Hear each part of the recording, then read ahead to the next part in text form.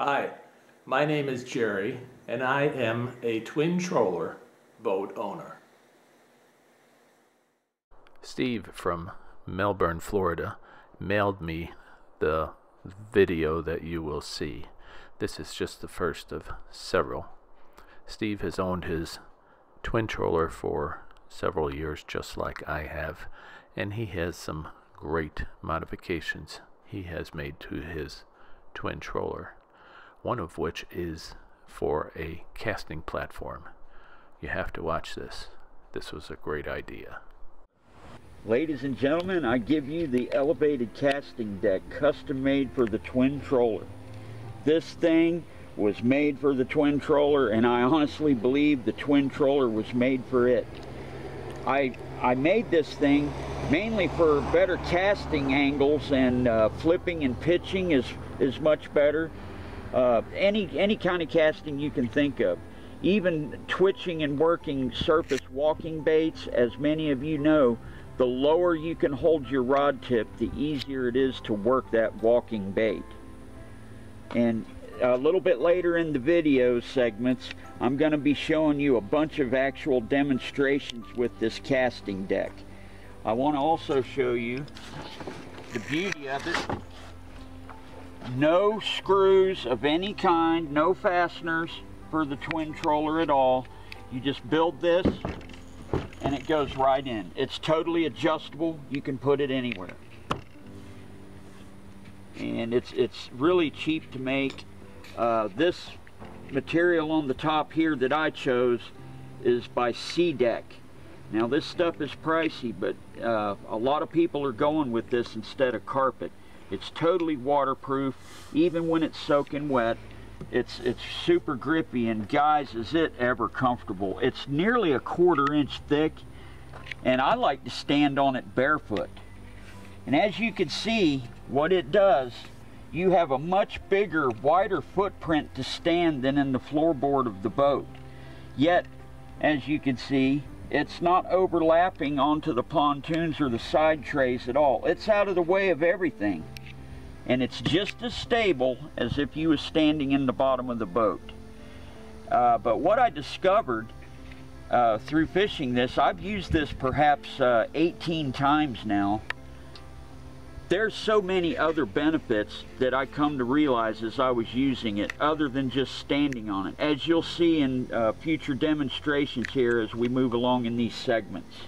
another thing about the uh, casting deck, it doubles your floor space for that amount of floor space because as you can see remember what we was talking about earlier? I've got my tackle box under there and you can put whatever you want under there you know so long as it fits. Oh by the way you have almost a foot of elevation. That may not sound like much guys but trust me the first time you step on this you're gonna feel like you're two feet in the air and for all you safety Sallies out there, don't even get on me about uh, questioning the safety of this. Because look at all the high-end bay boats and inshore boats that have poling platforms and sight fishing platforms. Depending on the model of boat, some of those are three, even four feet up in the air. Now, I don't hear anyone complaining about those, so don't complain about my platform. We're also going to show you how to make this in a future segment here, so Come stick around. segment where I'm going to show you how to build this casting deck. It's simple, guys. All it takes is pressure treated 2x8. You're going to want to cut these 29 and a half inches long. When, and as you can see, these 1x4s, they're set in just far enough Go ahead and go back up front there, Chaz. And I'm going to set it back down. I want to show them something else. It's very important.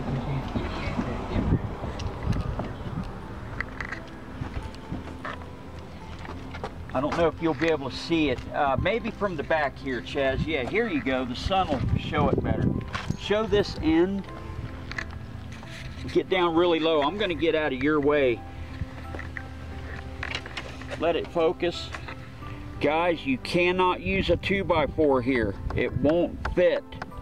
It'll come in contact with the, the seat track. You want to use 1x4 and trust me it's strong enough. And when you install these 1x4s, you want to leave just maybe an eighth of an inch of space because wood is constantly moving in uh, various weather. You don't want to make those a tight fit up against each side because if you do that, one day you might go to put it in and it won't want to go in and you'll have to force it. That's not a good thing. So keep it within an eighth inch of tolerance. Also, I recommend when you uh, when you cut your one by fours, make them a quarter inch less than this overall. I'm getting ahead of myself. I apologize, folks. I'm not good at making videos. This is my first time ever. Take a carpenter's pencil or any kind of gauge and make about a quarter inch gap. You don't want to put these pieces of wood, the two main pieces, you don't want to just slap them together. Again, because wood moves and flexes. That can cause them to cup or buck or twist. So get a nice even gap. You can, I use two carpenter pencils or you can even break a used one in half. That's plenty. Get yourself a framing square. Many of you probably already have that stuff or a large speed square and square everything up. Get your gaps in there. This, by the way, is about 15 and a quarter inches overall. That's a lot more than you think it is to stand on. Trust me, I don't care if you've got size 14 shoes. It's plenty big enough. Um, also, you can screw these 1x4s in, but I simply used inch and a quarter galvanized roofing nails, four in each 2x8. So as you can see, there's 16 nails total. It's not going anywhere. Um, you can use white pine, yellow pine, but you know, that's gonna rot sooner or later. Why not just use the pressure treated, spend a couple bucks more? Another good reason for that is, as I mentioned earlier about the safety goggles and the bugs and the twilight hours, those bugs, as I'm making that long run, they just get caked up on everything, including the casting deck. And when I get down there and the sun, you know, I'm starting to get enough light that I can see, the bugs are just caked up on this thing. I simply pick it up, dip half of it in the water and swish it around. Then I then I dip the other half in and swish it around. It takes every bug off. Uh, before I forget, I apologize. SeaDek, if you want to go this route instead of carpet, I highly recommend it. Um, it's it's spelled S-E-A-D-E-K dot com. There is no C. Come to find out, their only office, their only location is 15 minutes from my house. Now this stuff is pricey. A sheet 38 inches long and it's about that wide, I believe. I can't remember the exact measurement, but it's the closest fit for this platform. It was like 47 bucks after tax and everything. You can get all kind of different colors and if they don't have this size piece, in stock or carry it in stock of the color that you want like they do have camouflage. And I think the rep told me over the phone that they could get it for me but it would take two or three weeks. I simply didn't want to wait so I went with this color. But they do have it this is mocha M-O-C-H-A they also have another color in the correct size for this platform called mica M-I-C-A it's about two shades that appears to me about two shades lighter than the color of the boat. But I thought, you know, it, that's probably going to show dirt even easier. So I just went with this slightly darker brown. But I think it looks really good with the black paint around the trim. And this is so easy to do, guys. So we'll see you on the water to show you the many benefits of this. Hey everyone, uh, a quick video insert here. We forgot to tell you, on the underneath edge, each edge of the underneath side of the casting deck, glue a piece of bicycle inner tube would work best, but I didn't have any of that handy, so I just used yoga matting. That's paint that oversprayed onto it. Don't use anything thicker than yoga matting though. That way your your uh, platform will not slide on the, the plastic boat rails. Also, if you weigh, say, 250 pounds or maybe even more than that, if you're worried about the weight load on these 2x8s, you can always put an additional 1x4 right in the center. Also, if you look right here, I was talking about making these a quarter inch shorter than this overall length, the 1x4s. The reason being, it gives it a reveal, you know, so when it's flipped over, it gives it a more it gives it a more finished look. It's not out all the way flush. It's like stepped. And uh, that's about it. Oh, here's a close-up.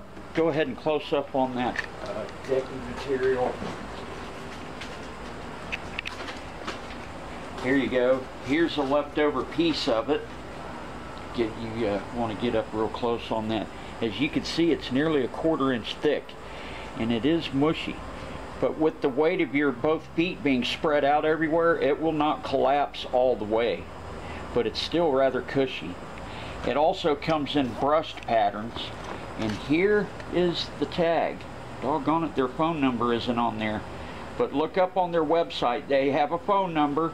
Call them during Eastern time, and they're very helpful. Almost forgot, I want to give you actual demonstrations. I'm not going to be doing any fishing, uh, we could do that in future videos, but I want to show you the many benefits of this casting deck. It's not just about standing on it and the better fishability. There's so many more things you can uh, get from this casting deck. So we'll see you on the water. Hey folks, back again. We're now on the water. I launched my boat just like any conventional boat. Um, that's really no big deal. We want to save time and get to the important stuff. Now you can see how the boat is rocking a little. It's a little breezy today here on beautiful Lake Washington. This lake is actually part of the St. Johns River, the upper St. Johns River. All it does is widen into a lake. And there, there's some pretty good bass fishing here, but I much prefer the stick marsh. Now if you would, Chaz, I want you to come right here. Now as you guys can see, I'm going to do this a couple times. Also when I'm actually going to take off in the boat when I untie. But you see how this boat's moving around. This is a floating dock that's very common in the state of Florida. I don't know about where some of you may live. Now, you know how hard it is to step down in boats. Look at this, guys. Did you see how easy that is? I am not kidding you. I can do this blindfolded. If you've got bad knees and you think you can't use this casting deck, I beg to differ. And this is for the for the reason right here. I'm going to do that again. Look. It's also just as stable as if you were standing down in the boat. You know, I mean seriously. Because if you think about it, you're not way out on either one of these pontoons. Yet you have a, look how wide, you can't stand that wide down in that floorboard. And like I mentioned earlier, if you go with this SeaDek material and barefoot, Remember the old Dr. Scholl's commercial for the, the inserts in your shoes, gelling like a felon? Folks, I am not exaggerating one bit. This is the most comfortable stuff I've ever stood on. And it's more durable than carpet because another thing about carpet is if uh, if you've got a bleeder fish, you know, gut hooked or whatever, you're going to get blood on the carpet.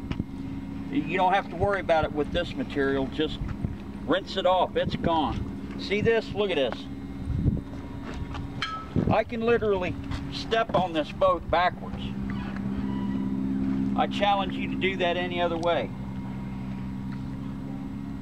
Alright, now what I'm going to do, let me get my boat repositioned here, because as you can see, show them out there, it's, it's, uh, the, the breeze just died down momentarily, but it's, you know, it's moving the boat around quite a bit. Now, for those of you who don't want to use the casting deck, you've got bad knees and you like to sit in your twin troller and use the pedals most of the time, that's not a problem. Once you board the boat, you can take your, scoot your seat back and just uh, fold your seat down and then put your casting deck anywhere back there out of the way. And you're really gonna love how you can beach with this thing too. And guess what, guys? That platform if, if I scoot it up above those pedals, it does not touch those pedals one bit. So what I do, when I'm ready to take off, I just park my truck. and do my rope here. Got it all rolled up neat, ready to go. Simply untie. And step on the boat. It's that simple. All right.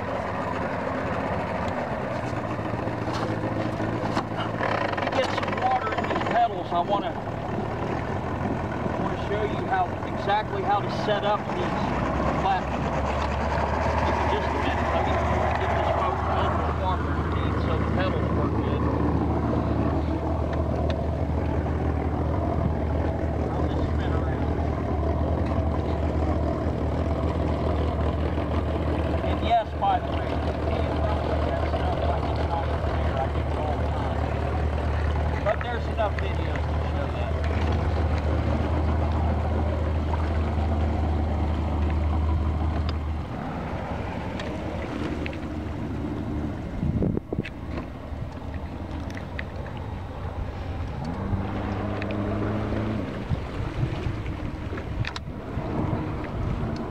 Try that with any other boat.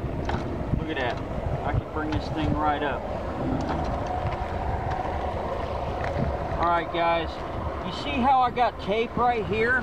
You might want to step back this way, Chad. That's just a narrow piece of Gorilla Tape. You can use a black permanent magic marker. What you want to do after you make your platform, set your pedals where you want them. I prefer mine the second notch from the very front position. That allows me room still for my anchor and stuff. And you'll notice how these paddles, they fit right there. They're not in the way at all. They don't interfere with the use of the pedals in forward or reverse. And actually, they stay that way, even in choppy water. So you, you just place your platform in here, get your pedals where you want them, get your seat exactly comfortable where you want it, and then pull the platform back and you'll notice, look how much room is behind the back of my legs. I'm not even coming in contact with this. Remember what I said earlier? That this platform was really made for the twin troller, and the twin troller was made for this platform. So you mark that, and then every time you go get on the water and place your platform, you've got the sweet spot. You know right where to put your platform, and then you simply pull your seat up and take off. Now, I want to show you something else. You notice how I scooted my seat back? You can leave your seat like that right there and fish. And if you need to use your pedals, simply sit down and use your pedals, of course. But if you're really on the fish and you use a stakeout pole like I do, or an anchor if it's in deeper water, uh, this is what I like to do. I like to fold my seat down, get it out of the way, and you'll notice this seat scoots a lot easier from the tower because these seats are made not to move very easily. That's what you want. And you can step down here when you need to. And what that's good for is landing fish. You're on your platform fishing, but then when you're ready to land a fish, now you can take a knee on this platform. Look, you can do this and you can reach the fish so easily. Pardon the moving around here, guys. But look at this. You can actually get down and sit on this thing and land your fish. Stand up. Whip out your hog trough. And here's another benefit of this casting deck. It makes a perfect workstation. Work with your catch, taking pictures, weighing the fish, measuring the fish, whatever. But that's not all. The hog trough fits nice back there too, by the way. Get this, guys. Hear me pull back up a little again.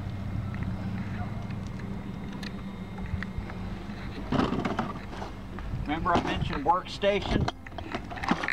How simple is that? I can take my sweet time doing whatever I want. Guys, the twin troller, especially with this, it's the Cadillac of all small boats. I don't care what anybody says. Why pay $2,500 and up for a kayak that you pedal around when you can have this for about 3,250 with one seat. I, I just don't get it guys, I really don't. Okay, we're gonna go to the next scene now where I'm gonna show you how to use this platform to beach, you know, on any bank. And it works just as good as what you just witnessed on the dock. So we'll see you on the next Here's scene, guys. guys, I, I forgot to show you yet one more benefit to the casting deck. See, I'm in position to use my outboard, my handles on it comfortably. Now, if you would, Chaz, just show right here, come right on up. As you can see, the casting deck is still in the sweet spot. But look, you, you now have three uh, positions for your feet. The normal position, your feet in the floor. This is my favorite right here. It's a footstool. Yay! You can even put your feet out like this. That's that's great over long distances with the outboard because you know when you sit in one position for a long period of time, even though it's comfortable, the twin troller is a comfortable boat. But you know how it is when you sit for a long period in one position, you start getting a little antsy. Well, this this helps that. You know, you can change your legs around any way you want. The casting, this casting deck actually makes your twin troller a true mini bass boat.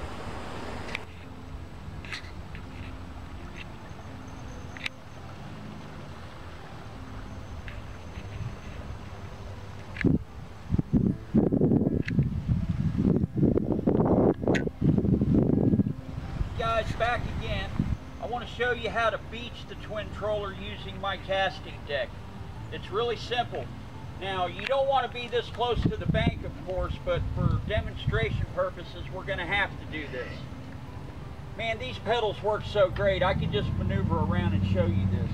The first thing you want to do, scoot your seat back where you can stand behind it, right? Take your platform, and put it right there in the seat. Simple.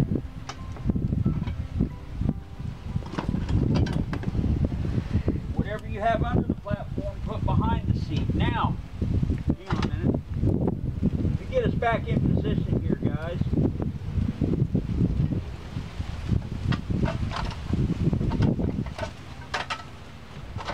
Now you could use any rope, but remember I have my three-piece anchor pole. I like to use just the bottom segment. So I just lay that anywhere. I don't want to get hooked up there. Let me do it on this side. I ain't got no treble hooks on this side. What you want to do is move your pedals all the way to the rear position of these forward pieces. Get that out of the way. And then you very simply take your casting deck might want to move a rod if it's in the way. Look how easy this is, guys. Super simple. Put it all the way to the front. Remember, you're going to be doing this way out there in the middle of the lake, you know, like 50 to 100 yards away. Tell you what, I'm going to try and back up to you and show you the position of these foot pedals now.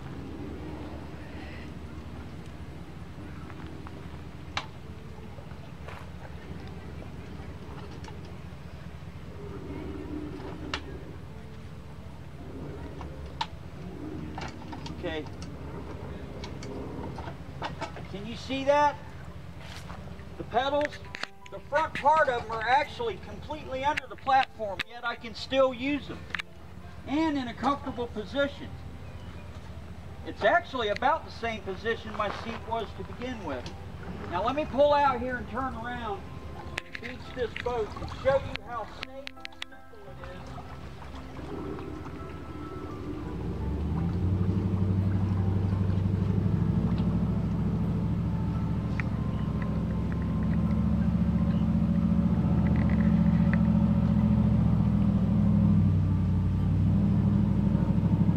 remember, folks, I'm doing these demonstrations. It's actually easier than this because I'm having to do this up close to the bank to show you guys.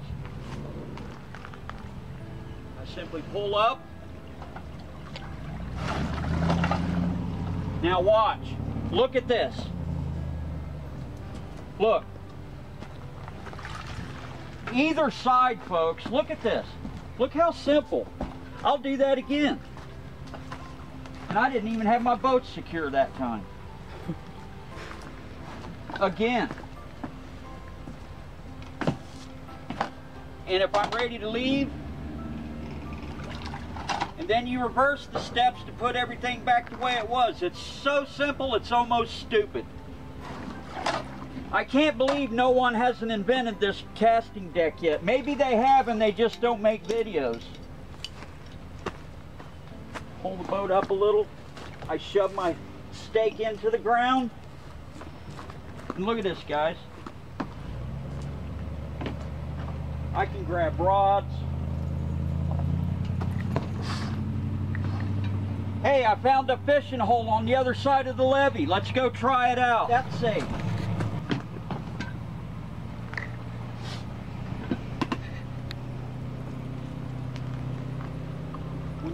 To come back, of course I was pretending like, you know, there was a fishing hole over there.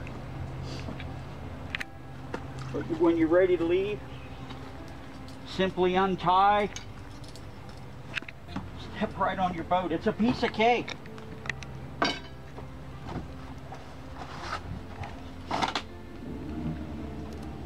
See that? Look, my toes are completely up under this platform. Now when I'm ready, you just simply reverse the procedure. You pick your casting platform up, put it in your seat. Put your pedals back up forward where you normally have them when you're fishing normally. Put your casting deck in the sweet spot. Remember where you marked it? Scoot your seat up where it's comfortable. Take off.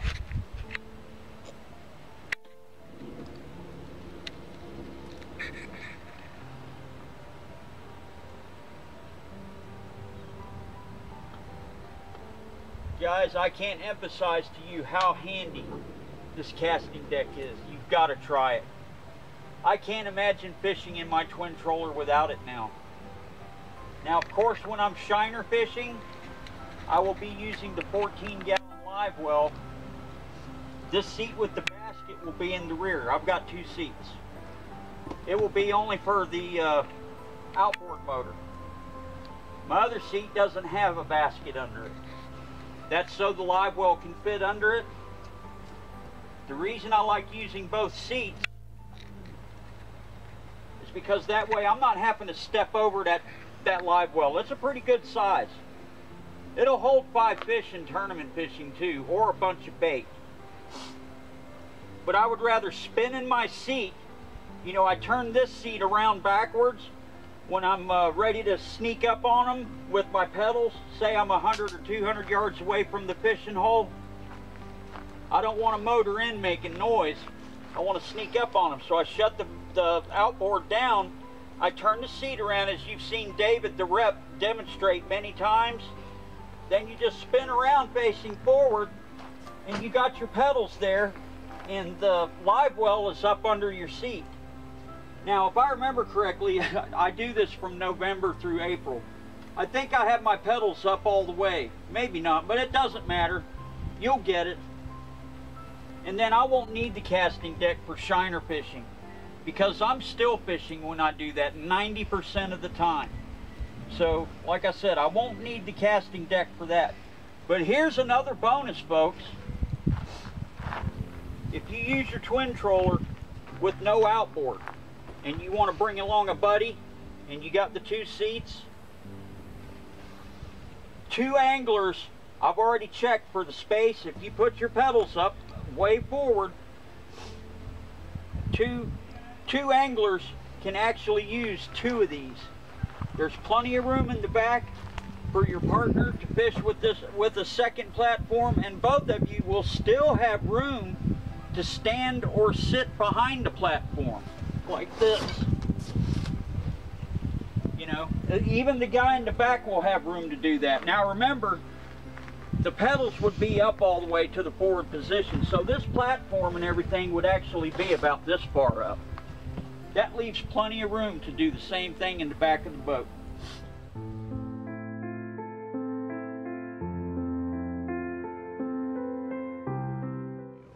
I am offering to anyone that owns a twin troller or someday when you buy yours to send me pictures in a story about your boat.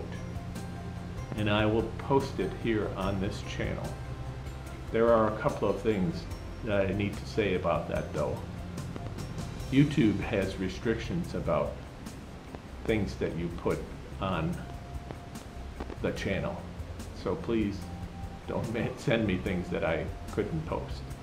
The email address to send those is twin troller picture at gmail.com.